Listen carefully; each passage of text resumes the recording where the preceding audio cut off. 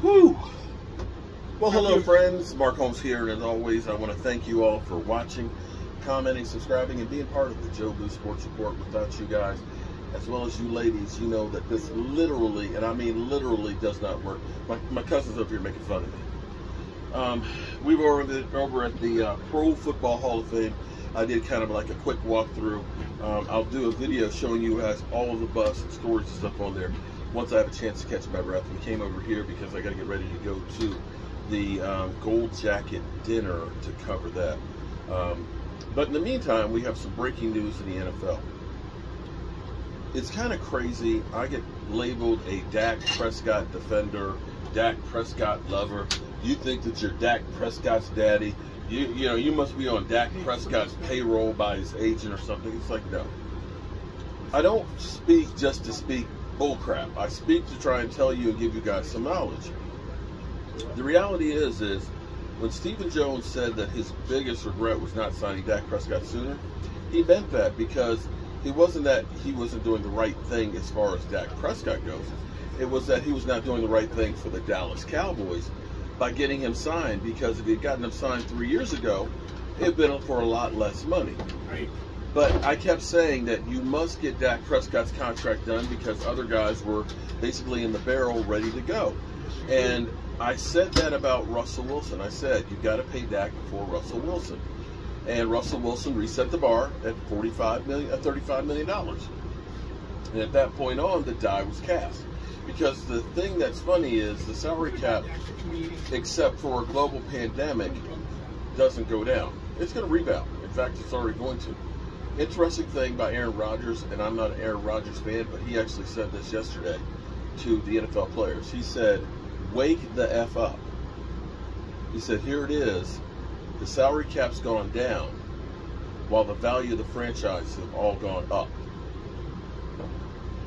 When you think about what they said it, within three years that every NFL franchise will be worth eight to ten billion dollars because of the you know, new sources of revenue between gambling as well as um, new stadiums as well as um, the new television contract, they're going to be flush with cash. And that eight to ten million dollars. Understand that today, right now, the Dallas Cowboys are worth five point seven billion.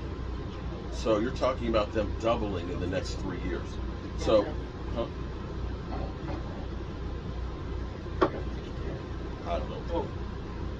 Oh, we don't want to comment on television. though. Ah, okay. It's Mike's lemonade. Okay, so we're doing the Mike's. Um, See? Sorry, I digress. My mind is going a thousand miles an hour here. So when you look at when people look at the contract we signed Dak Prescott, you're not looking forward on it because I said Josh Allen is coming up, Lamar Jackson is coming up, um, Baker Mayfield, and with all this new money, the price tag's are going to go up. Do I hear some bells? Yeah, the phone back there ringing in the corner. Whose phone? Somebody's phone in the corner. Not really. Don't you think you should cut it off so it doesn't kill the battery? Whose phone would it? Who's got It's a? in the charger. Oh, that's mine. Oh, It's okay. like in a little angle one. Yeah, in Yeah. the corner. We Must be an alarm on it. Okay, I don't know. It's my, my other my, my phone I use for my Mevo. Okay. Um, sorry, I digress again. Enter Josh Allen, who just signed a $258 million contract. Now, don't pay attention to the top num- number. You got to pay attention to the guaranteed number, which is 150 million guaranteed, um, which averages out to 43 million dollars every year. That's not it. So it's probably the one. This is it, it, only charges in that cradle. This is my phone before that one. So it must have been the alarm going off on it. Okay, so sorry, I digress again. Don't have time to reshoot this, so you're just gonna have to suck it up and watch it as it is. So for all the Cowboy fans out there that are saying you can't pay Dak Prescott, you know, you're gonna cripple us. Well, the thing that Dak Prescott's contract, his cap number is 21 million, oh, excuse me, 22 million dollars this year, 31 the following year, which is reasonable. Now Josh Allen, his deal right now is 6.9 million dollars this year because he's still on his rookie contract. So they have some wiggle room that they can play with that. Uh, whereas the Cowboys didn't because his contract expired. But it will escalate in kind, and a lot of that money is salary cap. I mean, is uh, signing bonus and guaranteed money that gets to be a lump sum check, which is prorated the life of the six years of the contract. So it's not that much as far as it go. And you can play with the numbers and make it funny numbers however you want to. So that's where we are. And I don't expect for, you know, Lamar Jackson to go ahead and sign like a $20 million contract.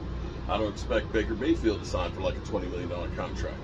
The reality is, since Troy Aikman got his, one of the first big contracts in the NFL, quarterback compensation has been going through the roof, and it will continue to go through the roof. And I'm waiting to hear all the people that are saying that Josh Allen's contract is going to hamstring him, that teams that pay the quarterback never win the Super Bowl and all that kind of stuff.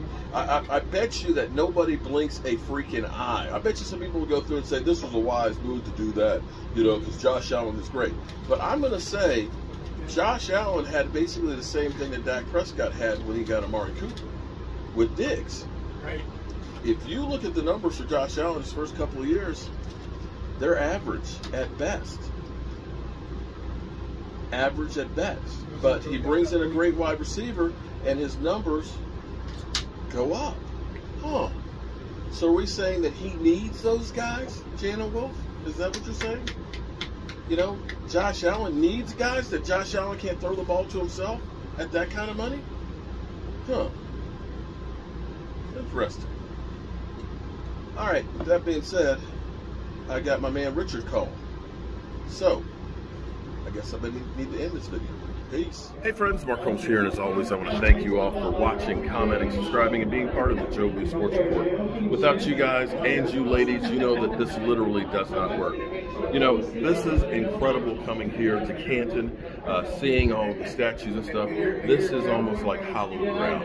When you start seeing the beginning of the NFL and the relationship that it has and the impact that it's had on the world, it's it's actually beyond just the sport. It is a driver in the culture, society, as well as the world. And as I look here, knowing that three of our Dallas Cowboys cornerstone pieces are going to be joining their brethren, I wonder where the next generation of Dallas Cowboys. We'll have a few more in there. We know that Jason Witten will go in there. We know that uh, uh, D-Ware will go in there. But beyond that, we actually have a drought of players that belong here in Canton. I'm hoping that yesterday or Wednesday, when the Cowboys got here, that they got a chance to come through here and to see all of this. Because to see the greatness that is and the excellence that these guys showed on the field and off the field to become the 350 best players in the history of football. To have them have something to strive for, to try and be a part of, and to hopefully end up here. Congratulations to Cliff Harris, Drew Pearson, and Jimmy Johnson, and I'm happy that Jerry Jones and uh, Jimmy Johnson have kind of kissed and made up, although in some regards, maybe it was Jerry trying to steal a little bit of the shine off of it. Uh, Jerry was actually just over here in this other room, and um, we've got to go ahead and do some more stuff here. Um, I wish I had more time that I could go through here and just show you guys all of the sights and sounds and everything that is at the Hall of Fame. But if you ever get the chance the opportunity, you must come to the Pro Football Hall of Fame. It's just beginning, y'all.